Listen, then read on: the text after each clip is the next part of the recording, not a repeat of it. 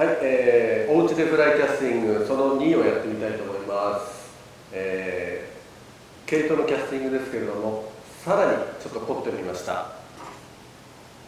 これね、えーと、毛糸を2本より作りました。2本よりして最後端っこ1本だけ残しました。これテーパー作っちゃいましたね。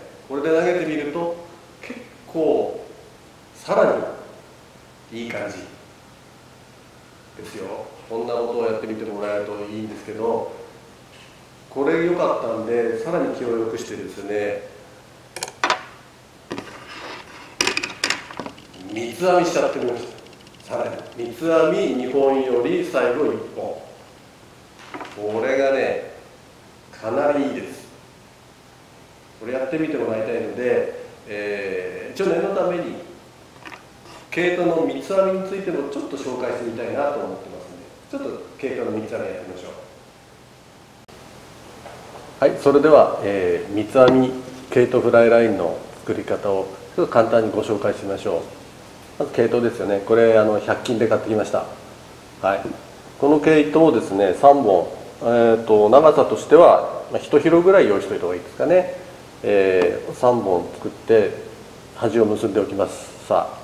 でこれやりますよ。まあ三つ編み得意な人が周りにいたらそれを教わった方がいいんですけどね。僕なんかよりうまいと思うので、まあ、やってみますよ。3本あります。でこれをいいですか？まず左のやつを右に入れるか。でこちら側のここに重ねますね。で次また外側の内側に。この外側の内側に。こういう繰り返しですね。外側の内側で45回やったらばこのよりを1回取っとかないと収集つかなくなっちゃうのでこう取って、ね、そしたらまたこれを内側に、はい、入れました。こちら側もこちら側に入れます。この繰り返しですね。こんな感じでずっとやっていってもらうといいと思います。はいこうやってずっと頑張って続けてやってくださいね。とだいぶ来ましたね。この調子で。外の内に。外の内に。はい外の内に。外の内に。はい。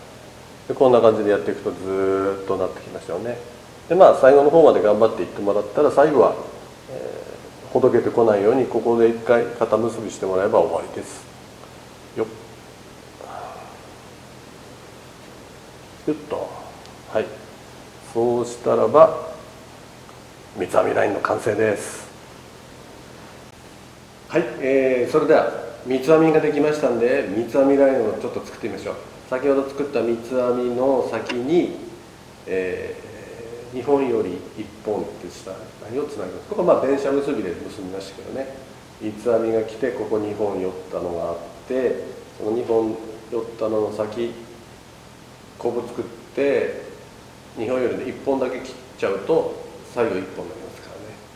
素晴らしいテーパーラインです。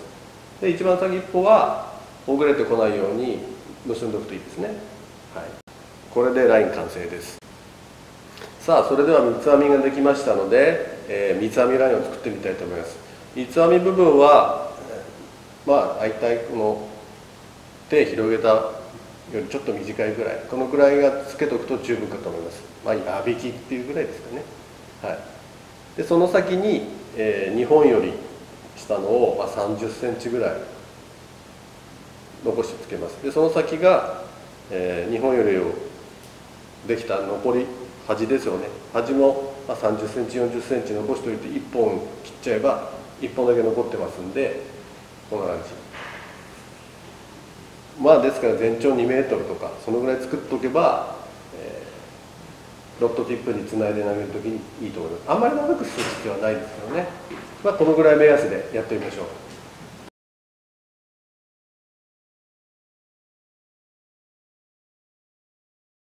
そうしましたらば、えー、このまま菜箸ロットでも結構いいんですけどももうちょっとやりたいなと思って今度やってみました。4ピースロットのティップですね。これ7フィート半の4番のティップです。このくらいの長さだったらば結構そんなに部屋の中でも邪魔にならないし、まあ、かなり気分が出るんでこのぐらいがいいです。9フィートの4番だと9フィートだともうちょっと長いのでもう少しスペースが必要になっちゃうからちょっと大変かもしれないですね。このくらいがちょうどいいかもしれません。でこれでやるとかなりいいんですけれどもいいですか？まず周りね、えー、注意してください。いろんなものがないか。引っ掛けて倒しちゃったら大変ですからね。花瓶だとか何だとかないようなところでやりましょう。それから竿先だけで投げるなんていうことは設計されてませんからこれで思いっきり振っちゃうとこれ折れちゃう可能性があるので優しくね優しく振ります。それだけで十分に楽しいですからね。ということでこれで振ってみましょう。いいですか？どうですか？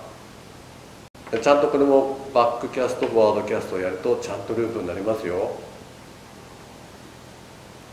ちゃんとループになりますね。はい。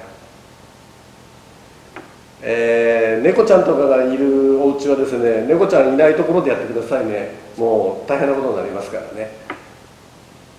これでやってみてください。これかなりね本格的。でこのぐらいのスペースだったら僕もあの6畳の和室で座ってやってみましたけど全く問題なく振れますんでね。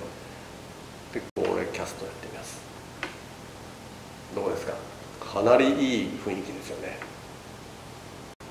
実際のキャスティングにかなり近い雰囲気でできますよ。これでもう思いはフィールドですね。ぜひやってみてください。どうも。